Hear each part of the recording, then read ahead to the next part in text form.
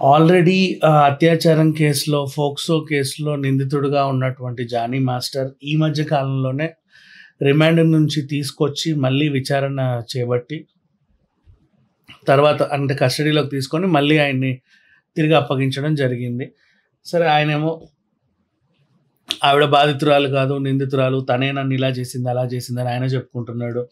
వాళ్ళ ఆవిడ కూడా అలాగే చెప్తుంది. అఫ్‌కోర్స్ అలాగే చెప్తారు. ఖచ్చితంగా అలాగే చెప్పాలి. ఎందుకంటే అదే రూలు. బికాజ్ ఒకరి నీ మీద కేసు పెట్టనంటే వాళ్ళని నేను శత్రువులానే చూస్తాం నీ తప్పు లేదు. మొత్తం తప్పంతా వాళ్ళదే అని అందరూ చెప్తారు. దీంట్లో పెద్ద కొత్త విషయం ఏం లేదు.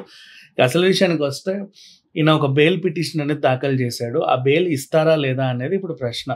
సో, ఇవ్వచ్చు అనేది నా అభిప్రాయం. అంటే ఐ మీన్ మధ్యంతర బెయిల్. ద ఓన్లీ రీజన్ మీరు గుర్తుపెట్టుకుంటే కేజ్రీవాల్ మన ఢిల్లీ లిక్కర్ స్కామ్ కేసులో కూడా కవితకు బెయిల్ ఇవ్వకుండా కేజ్రీవాల్‌కి ఇచ్చారు ఎలక్షన్ టైంలో కవిత వాళ్ళు పెట్టుకున్నది ఏంటి? ఈవిడ మంచి ఇన్‌ఫ్లుయెన్సర్. ఈవిడ వల్ల పార్టీకి ఈవిడ స్టార్ క్యాంపెయినర్. ఈవిడ లేకపోతే అసలు మా పార్టీయే లేదు అన్నట్టుగా వాళ్ళు చెప్పుకుంటే అంత సీన్ లేదులే కూర్చోండమ్మా మీకు మేము బెయిల్ ఇవ్వమని చెప్పేసి కూర్చోబెట్టారు. అది ఒక విషయం బాగానే ఉంది. కేజ్రీవాల్‌కి ఎందుకు ఇచ్చింది ఎలక్షన్ ముందు బెయిల్ అంటే ఆయన ప్రజలు జనం చేత ఎన్నుకోబడ్డ నాయకుడు కాబట్టి మళ్ళీ ఎలక్షన్స్ వచ్చాయి కాబట్టి ప్రచారం చేసుకోవడం ఆయన నైతిక హక్కు. అందుకని చెప్పి ఇచ్చింది. మళ్ళీ తీసుకొచ్చారు పాపం రెండో తారీఖు రమ్మంటే ఆయనంతట ఆయన వెళ్ళి లొంగిపోయాడు బాగానే ఉంది.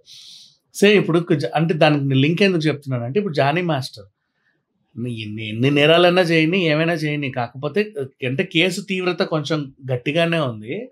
కాకపోతే ఏంటంటే ఆయనకు ఒక నేషనల్ అవార్డు వచ్చింది ప్రభుత్వం తరఫునే.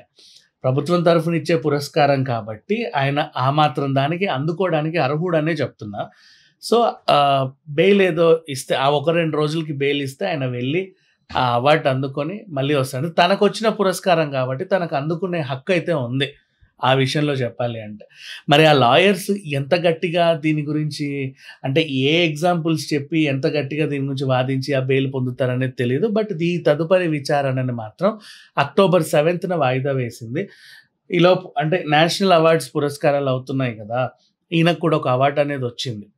నేషనల్ అవార్డు సో, పాపం ఆయన తీసుకోవడానికైతే అర్హుడే. అలా అని చెప్పేసి పాపం అన్నాం కదా! అని చెప్పి నేరంలో మాత్రం తన నిందితుడే. అంటిల్ అండ్ అన్‌లెస్ అది రుజువు అయ్యేంత వరకు బికాజ్ అమ్మాయి చాలా స్ట్రాంగ్‌గా కేస్ పెట్టింది. తనైతే వెనక్కి తీసుకునే అవకాశం లేదు.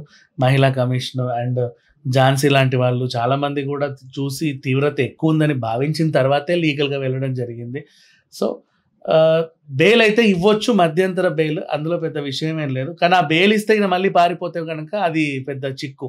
ఎందుకంటే ఆల్రెడీ పారిపోయి పట్టుకొచ్చిన వాళ్ళని ఇంకా అది ఏం చేయలేరు. అంటే కేజ్రీవాల్ విషయంలో మళ్ళీ ఎగ్జాంపుల్ తీసుకుంటే మరి ఆయన కూడా రాలేదు కదా! అంటారు. ఇక్కడ విషయం ఏంటి ఆయన జస్ట్ తలుపు కొడితే తీలా అంతే.